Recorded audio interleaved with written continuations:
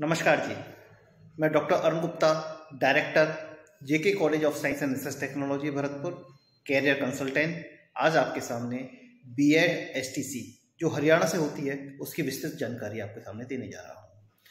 इस समय अपन देख रहे होंगे, जो विद्यार्थी राजस्थान से एस टी सी और बी एड कर रहे थे, उनका भी बहुत ज़्यादा क्रेज़ इस समय हरियाणा से और एम पी से बी एड और एस टी सी करने की तरफ़ हो गया है। उसका सबसे बड़ा रीज़न है कि राजस्थान के अंदर सेशन लेट होने के कारण दो साल का कोर्स तीन साल में कंप्लीट होता है। नवंबर, दिसंबर का सत्र चलता है। इसकी वजह से वो जो लास्ट ईयर होता है, वो उस बच्चे का खराब हो जाता है। एस के अंदर भी यही हो रहा है बी के अंदर भी हो रहा है। जबकि हरियाणा के अंदर टाइम पे सत्र चालू रहता है जिसकी वजह से स्टूडेंट को पूरा एक साल का बेनिफिट मिल जाता है। पहला बेनिफिट ये मिलता है, दूसरा बेनिफिट मिलता है कि हरियाणा के अंदर काउंसलिंग के थ्रू एडमिशन जो होता है, वो परसेंटेज बेस पे होता है एंट्रेंस एग्ज़ाम नहीं होता। जिसकी वजह से इजीली स्टूडेंट का सिलेक्शन भी हो जाता है और उसको जो फैसिलिटीज़ वहाँ से मिल पाती है, वो राजस्थान में नहीं मिल पाती। तीसरा जो सबसे बड़ा बेनिफिट मिल रहा है विद्यार्थी को वो मिलता है कि राज्य, हरियाणा की जो यूनिवर्सिटी है, कुरुक्षेत्र यूनिवर्सिटी वो A plus plus grade university है, जो कि राजस्थान के अंदर कोई भी university A plus plus grade university नहीं है। यानी कि अगर अपन यूजीसी लेवल पे और गवर्नमेंट के लेवल पे नेक के लेवल पे अगर देखते हैं तो नंबर वन पे अपन की जो बी के लिए है, वो हरियाणा में कुरुक्षेत्र यूनिवर्सिटी आती है। तो स्टूडेंट के लिए हर तरह से बेनिफिट कुरुक्षेत्र यूनिवर्सिटी से मिल रहा है।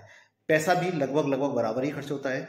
कम ही खर्च होता है हरियाणा से, ज़्यादा नहीं होता जो फैसिलिटीज़ वो देते हैं, उस फैसिलिटी को देखते हुए स्टूडेंट्स का पैसा भी कम खर्च होता है। अब बात आती है मान्यता की। तो राजस्थान का स्टूडेंट यदि हरियाणा से बी करता है एसटीसी करता है तो वो उतना ही वैलिड है जितना राजस्थान से करना है यूपी से करना है, हरियाणा से करना है, कहीं से भी करेंगे।